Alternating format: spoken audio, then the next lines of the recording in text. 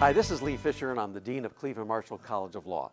The two most exciting days at Cleveland Marshall are graduation day and the day that we welcome our first year class.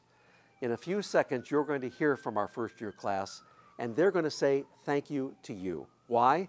Because you are the donors who made their scholarships possible, and without those scholarships, we wouldn't have such a creative, talented, bright, exciting first year class. Thank you, thank you, thank you for your support. I'm Manessa Slater, and I'm from Bedford, Ohio.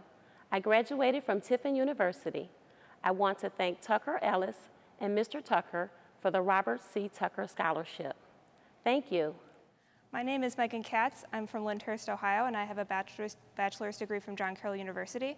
I'm Chris Piazza. I'm from North Olmsted, Ohio, and I have a BA from Capital University, an MA from Cleveland State University, and an MS certificate from the University of Nevada, Las Vegas. We both would like to thank the law firm of Nurenberg, Paris, Heller, and McCarthy for our scholarship. Yes, thank you very much.